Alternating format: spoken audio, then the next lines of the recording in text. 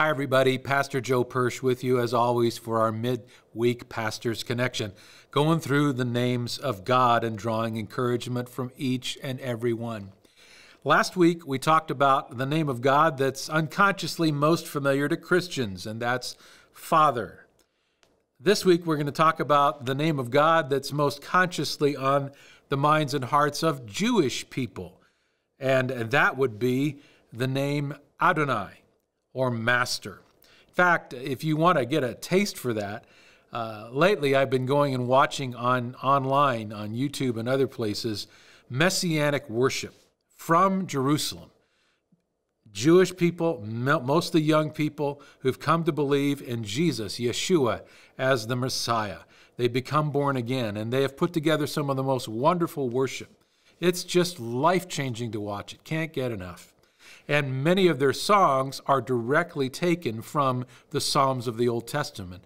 And so you hear Adonai, Master, constantly woven through these modern Jewish renditions of the ancient Jewish praises. Check it out on YouTube Messianic Worship. You will be blessed.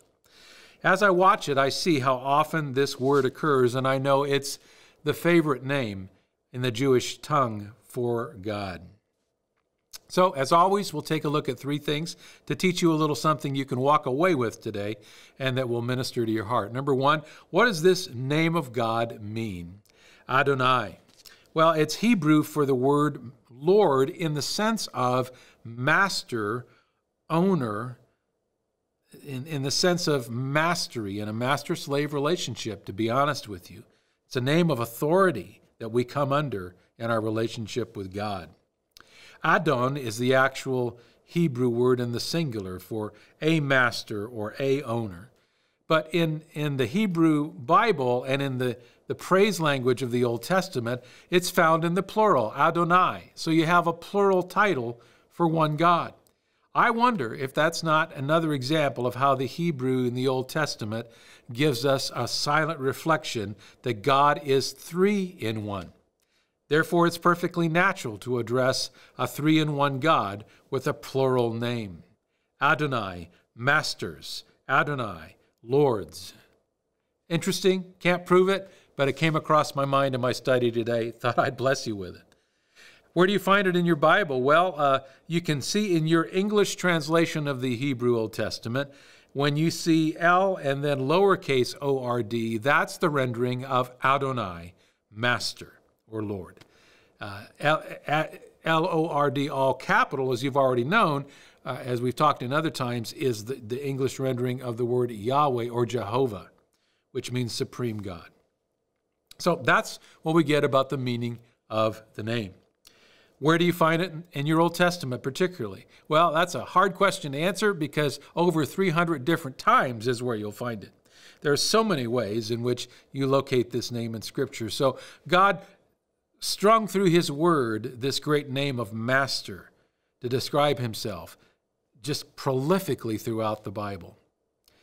One place that, uh, that in my recent study appealed to me was Psalm 16:2, where David, writing in this psalm of intimate worship, says, I say to the Lord, You are my Lord, Adonai.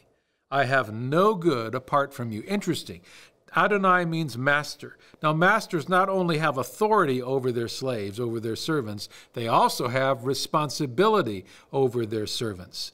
And I think David here is talking about the fact that since he made the God of Israel the master of his life, he had no good apart from God. God became his everything, and God supplied his everything. And he found most of that in the realm of private, intimate worship of God.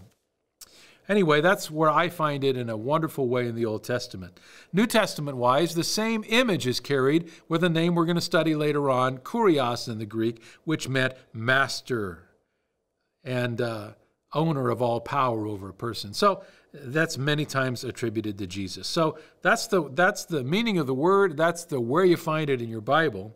Last question today: Why does that matter to me in my new millennium world, in my present day walk? With the God of the Bible. Well, I find that when I study this word, it reminds me of how God wants us to view Him, how God wants us to view Him. as opposed to how we want to view him. Today, in our society, we've been raised in a self oriented culture with a self oriented mindset directed toward our needs, our vision, our dreams, our preferences, our wants. And we're reflexively designed by our old nature to believe that God exists to fulfill our needs, our desires, our wants, our dreams, our hopes, our preferences. And what happens as we enter into our faith with God is that we cast Him in our terms. And a lot of times we see Him as our servants instead of ourselves as his servants. Does that make sense? Well, if you understand what Adonai means, there's no possibility of that in the relationship you have with the God of the Bible. He comes as the master, you come as the servant. He is the one who gives himself the name Master or Lord over your life over 300 times in his Old Testament. He's making a point. He comes and sets the terms for your relationship with him. You don't get to set the terms of your relationship with Him.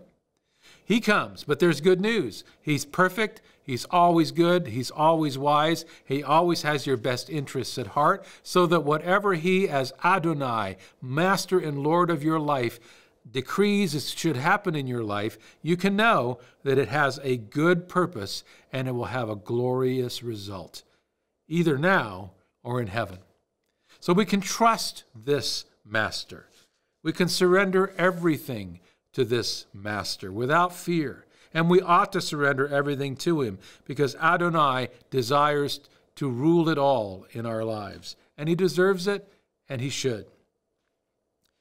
We want to be servants that have accepted also whatever God ordains for our lives. He gets to set the kind of service we give Him in ministry. He gets to set the events of our days. He gets to set our economic life. He gets to set our family tensions and challenges. He gets to set physical health over time and over life. He gets to set it all. And in the midst of it, He calls us to honor Him as our master, no matter how we struggle in walking through what He's ordained for us. He is the master. Remember how God wants us to view him versus how we sometimes prefer to. I always need reminders of it because every day of my life comes packaged with things that I wouldn't have authored for myself. Today's no exception. So I want to ask you to do what I do periodically throughout the day. Spend a moment in prayer with me right now, resurrendering to Adonai, our great master. Would you bow with me? Father, we come and we want to remember, Lord, that we come to you on your terms. We don't come to you on ours. Repentance involves turning from life on our terms, according to our goals, and realizing how broken and sinful that is, and turning around and coming under your lordship and your rulership. You become our master. Father, help us today to surrender every part of our day to you, whatever you desire it to be fulfilling or disappointing, difficult or rewarding. Lord, let us surrender it all in advance today and seek to honor your majesty through it. And Father, let us seek to be what I call the accepting servant. In other words, we accept whatever comes from your hand in terms of what you call us to do, what you call us to walk through, and how you choose to provide for us. Lord, there's contentment on the other side of that acceptance because Adonai, our Master, is and always shall be good to us. We pray in your matchless name. Amen. Thanks for coming before Him with me for another wonderful time in the Word. May Adonai lead you in a fulfilling walk today. I'll check in with you next week.